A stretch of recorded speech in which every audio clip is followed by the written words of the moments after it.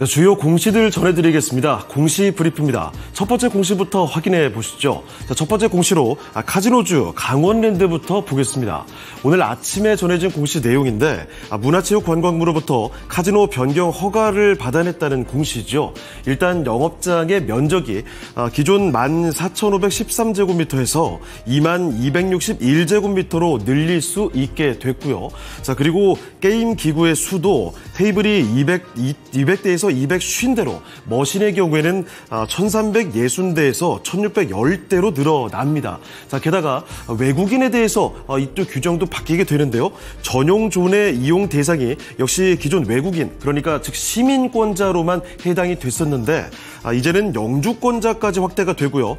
베팅의 한도도 최대 한도가 30만 원에서 최대 3억 원으로 변경이 됩니다. 자, 이렇게 호재성 공시를 전하게 된 오늘장의 흐름, 일단 주가 흐름 확인해 보겠습니다. 안 그래도 지난달 초에 바닥 찍고 13,330원에서 가파르게 올렸습니다. 급락했을 때 이전 상태를 훨씬 더 상회하는 모습이었죠. 자, 그러다가 호재까지 만나게 되니까 흐름이 더 좋습니다. 장 초반부터 가파르게 상승입니다. 오늘자 보시면 전장 대비 무려 8%를 띄워가고 있습니다. 18,000원을 향해서 가는 모습 17,760원에서 거래되고 있습니다. 다음으로는 건설주 코런 글로벌입니다. 어, 한국전력공사와 805억 원 규모의 공급 계약을 체결했다고 공시를 했습니다. 어제 장을 마치고 전해진 내용인데 어, 이번 계약은 시흥, 인천 지역의 전기 공급 시설의 전력구 공사 공급 계약입니다. 아, 계약 기간은 2024년 10월 4일부터 2027년 10월 3일까지고요. 계약 금액은 아, 최근 매출액 대비해서는 3.03% 규모입니다. 자, 그럼 곧바로 주가 흐름도 보겠습니다. 아, 지난 6월에는 16,000원대로 아, 그리고 지난달에는 바로 이 13,000원대까지 이렇게 한 번씩 튀어오르기도 했지만 어제 종가 기준으로 봤을 때는 이 만원대가 위태로워졌었죠. 자, 그런데 오늘장 주가 일단은 좀 올려가고 있습니다. 큰 폭까지는 아니고요. 어, 전장 대비 1.3%대 올리면서 현재는 1,220원에서 거래가 되고 있습니다. 다음으로는 국내 2차 전지 양극재 대표 종목 중에 하나죠. 아, 포스코 퓨처엠 보겠습니다. 어, 제 장마치고 전해진 내용인데 세계 최대 코발트 생산 기업인 중국 화이오 코발트와 어, 경북 포항에 1조 2천억 원을 들여서 전구체 합작 공장을 짓기로 한 계획을 전면 철회하기로 했습니다. 앞서 지난해 5월에 MOU를 맺으면서 내놨던 투자 계획이었는데 사측에서는 전기차 캐즘 등을 고려를 해서 투자 속도를 조절하는 차원이다 이렇게 밝혔습니다만 시간의 거리에서 하락하는 흐름을 나타냈었죠. 어, 자 그럼 주가 흐름도 확인해 보겠습니다.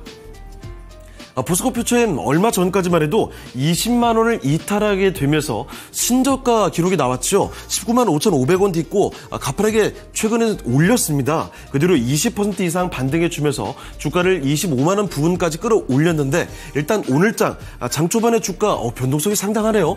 3% 어, 넘게 빠지다가 다시 또 낙폭을 줄여가고 있습니다. 현재 구간은 낙폭 상당히 줄였죠. 0.6% 내리는데 그치고 있고요. 현재 24만 원 근방에서 거래되고 있습니다. 있습니다.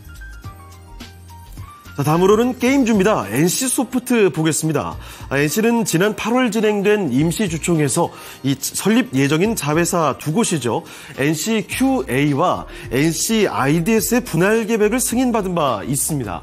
자, 이와 관련해서 아, 주식 매수 청구권 행사 결과를 어제 장마치고 공시를 한 겁니다. 어, 이 당시 자회사 분할에 반대 의사를 표한 아, 그러니까 주식 매수 청구권 행사를 한 주식이죠. 37만 8,434주를 주당 19만 3,636원에 매입하기로 결정했다고 했습니다. 어, 총 매수 대금의 규모는요 727억 원 규모가 되겠고 이를 모두 자사주로 취득을 하겠답니다. 자 그래서 기업 가치 극대화를 위한 M&A 재원으로 활용할 계획이다 이렇게 밝히게 됐습니다. 어, 그러니까 자회사 분할의 의지를 보였다 이렇게 정리를 해보면 될 텐데 이어서 주가 흐름까지도 보겠습니다. 네, 여전히 주가 흐름은 좀 부진합니다. 20만 원대 미치지 못하고 있는 흐름이 이어지고 있는데요. 오늘 장 초반의 주가 일단 전장 대비해서는 올려가고 있습니다. 어, 전장 대비 2.42%를 끌어올리면서 현재는 18만 1,700원에서 거래되고 있습니다. 자, 다음으로 에코프로 그룹에서 환경사업에 특화된 회사죠. 에코프로 HN입니다. 어, 2,001억 원 규모의 주주 배정 유상증자를 결정했다고 어제 장마감 이후에 공시가 나왔습니다. 어, 자금 조달의 목적은 시설 자금 1,700억 원, 그리고 운영 자금 301억 원으로 전해졌고요. 예정 발행가는 3만 5,300원으로 확정 예정일은 오는 11월 29일, 그리고 신주 배정의 기준일은 오는 10월 14일이 되겠습니다. 어, 곧바로 주가 흐름도 보겠습니다. 안 그래도 올해 고점 대비해서 3월 고점이었죠. 반토막이 더 나 있었던 주가의 흐름이었습니다.